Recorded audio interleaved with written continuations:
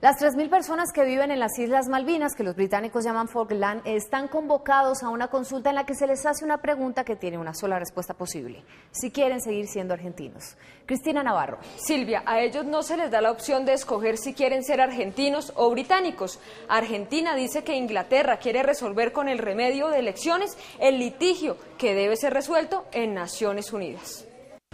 Durante dos días los habitantes de las Islas Malvinas estarán en votación de un referendo para que sus habitantes, en su gran mayoría ingleses, ratifiquen que quieren seguir perteneciendo al Reino Unido.